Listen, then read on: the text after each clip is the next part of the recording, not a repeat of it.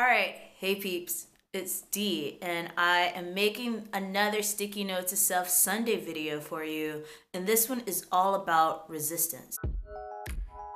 Now, before I get into this video, I want to give a shout out to Gallery 210 at the University of Missouri in St. Louis, uh, which is hosting right now the first showing of all the black notes from the Sticky Note to Self project.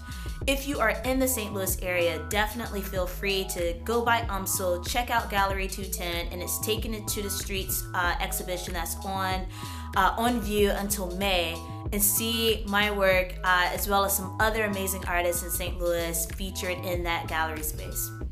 And one of the works that I have on view at Gallery 210 is the sticky note that simply says resist.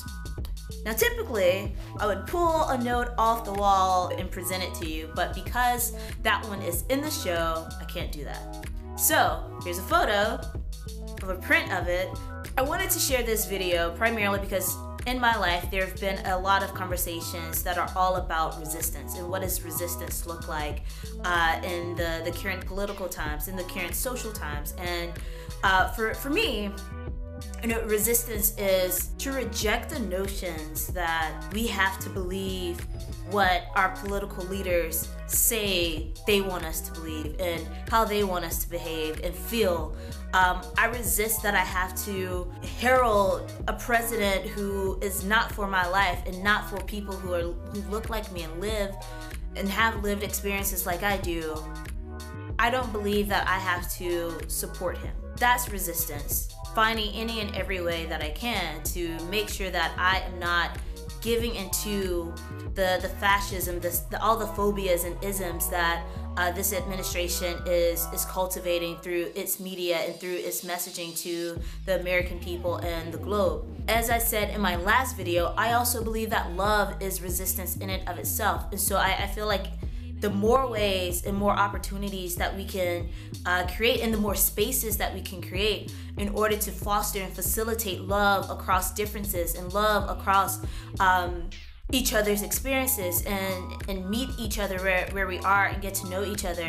I think that's how we build our momentum and link our arms uh, metaphorically in order to fight against a lot of the um, oppressive uh, systems and rules and legislation that uh, is developing right now. I also feel like resistance means jumping into uh, a lot of the political realms, running for office, even as an artist, as a young person, as whatever or whoever you are, like taking your your views and grounding that as political strength and voice, mobilizing people towards uh, the vision, the better vision uh, that you see for the world. There are numerous ways that uh, we all can activate ourselves right now. And also, my team at FoodSpark, foodspark.org, recently hosted a potluck dinner conversation that was all about this, this word resistance and what does it mean. If you go to foodspark.org or check out any of our conversation guides, you can use those to host and gather your friends and community members to have conversations with guided questions, resources, insights from other participants as well. So check that out and in the comments below, leave some resources, leave some articles, and share some of your thoughts about what does resistance look like to you.